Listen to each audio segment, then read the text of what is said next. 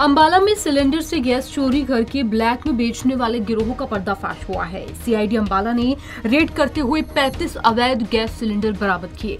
CID ने मौके से तीन आरोपियों को भी पकड़ा है। जानकारी देते हुए खाद्य आपूर्ति विभाग के इंस्पेक्टर ने बताया कि इस कार्रवाई को गुप्त सूचना के आधार पर अंजाम दिया गया।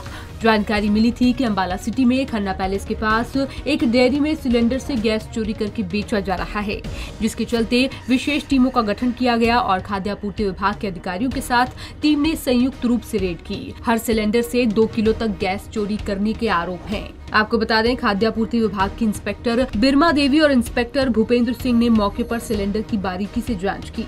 जाँच में सामने आया कि आरोपी भरे हुए सिलेंडर से डेढ़ से दो किलो गैस चोरी करते थे और खाली सिलेंडर को भरकर उसे ब्लैक में बेचते थे।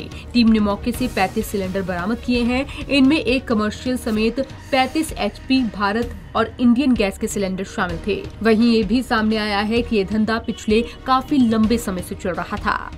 ये हिंदुस्तान पेट्रोलियम एजेंसी सिलेंडर है मेरे एक बंदा पकड़ेगा।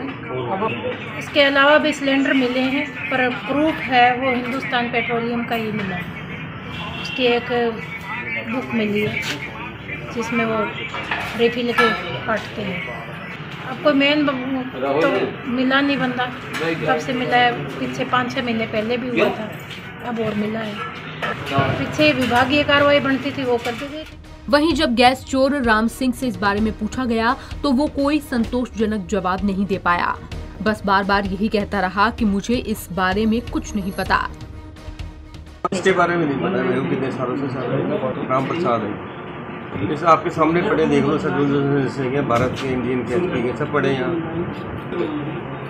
इसके बारे में नहीं पता ये मैं तो रेडी चलाता हेल्प नहीं करता साथ कोई भी ले जाता है धक्का धुक्का लगाना होता है। तीन चार सौ रुपये मिल। जाता है वहीं आपको बता दें, सिलेंडर से गैस चोरी करने का यह धंधा पिछले काफ़ी समय से चल रहा था।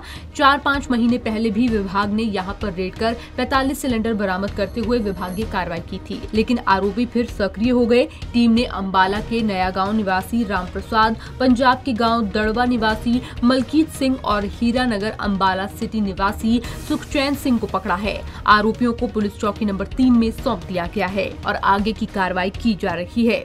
पंजाब केसरी टीवी के लिए अम्बाला से कृष्ण बाली की रिपोर्ट।